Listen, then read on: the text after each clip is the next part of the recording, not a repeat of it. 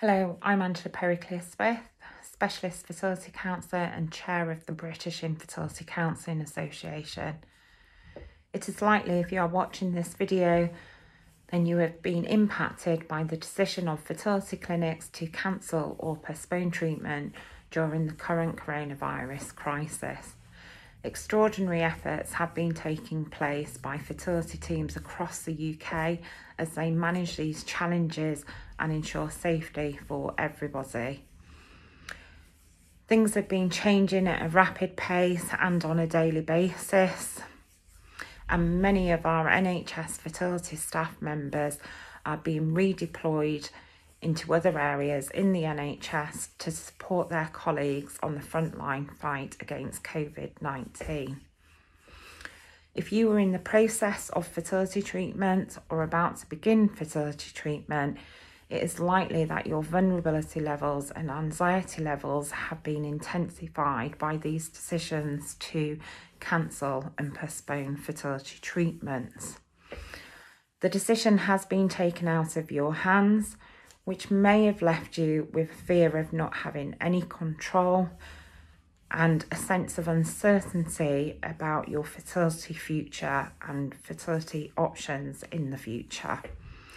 The sudden loss of your treatment options may have left you with a sense of disbelief and grief, and it may even feel like everything has changed, whilst at the same time, nothing at all has changed.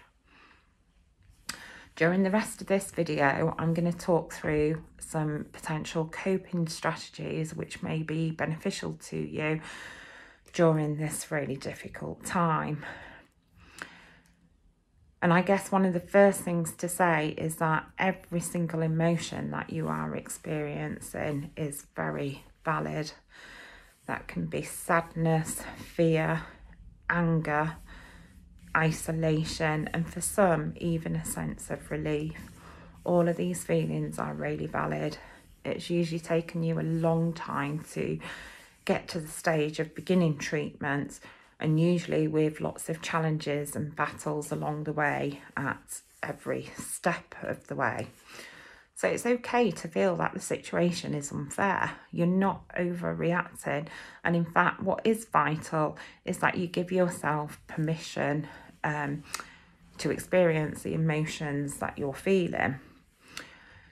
It's also important that you put a time limit on these emotions. Set yourself a time limit whether it's 15 minutes, half an hour, an hour, set yourself a time limit and allow yourself to experience the emotions you're feeling. In this way, you are giving yourself permission and you are not being dismissive of your own feelings.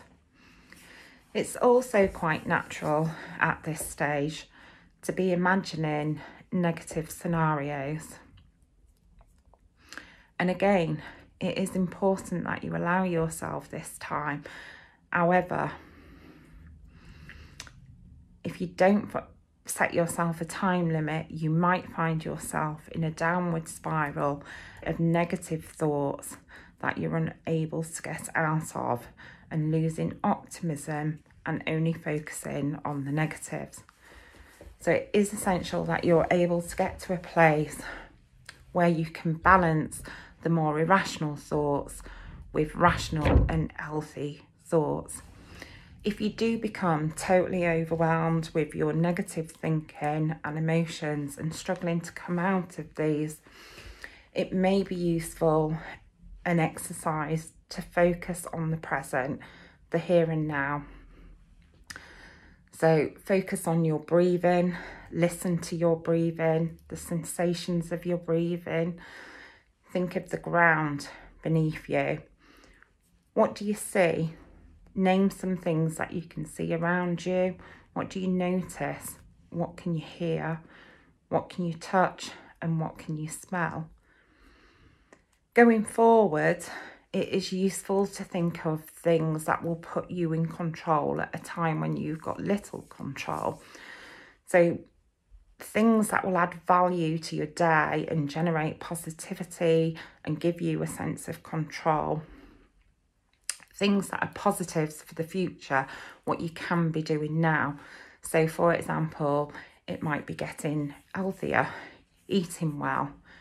It might be physical exercise. Physical and mental health are linked. So do try and ensure you've got some physical exercise of some form in every day. It's important to remember self-care is important. You are important. You're not only important when you're going through fertility treatment, so do this for yourself now. Think of other things which may be beneficial for you, and that varies from person to person. It might be writing, keeping a journal of your thoughts and feelings, having the opportunity to write those out and express them, and an outlet for them can be therapeutic and help you process some of these. Book groups, perhaps learning a new hobby, learning new language, cooking, baking.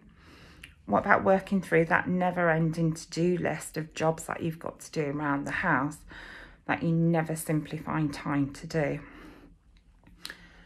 Download a podcast. There are many fertility related podcasts out there, such as Natalie Silverman, Kat and Alice, Defining Mum. These are just a few of the many available. And of course, there are thousands of podcasts which are non fertility related. Practice gratitude on a daily basis. Think about one thing every day that you are grateful for in your life. And self affirmations can be useful at a time like this and practice saying it out loud. A useful self affirmation is there is nothing different I can be doing today to change the outcome of this. So there is nothing different I can be doing today to change the outcome of this. The most essential coping tip I have at this time is communication. Communication is key and being able to exp express and talk openly and honestly about how you are feeling. So start considering who your support network can be, family, friends, colleagues, and ways to maintain contact with them and communicate, whether that's by telephone, WhatsApp calling, FaceTime calling, Skype calling. They're all really important and particularly important if you are single and facing this challenge alone. There are lots of patient groups available out there um, which work remotely have a look on the Fertility Network UK website, All About Fertility website, and also the useful links page on the BICA website.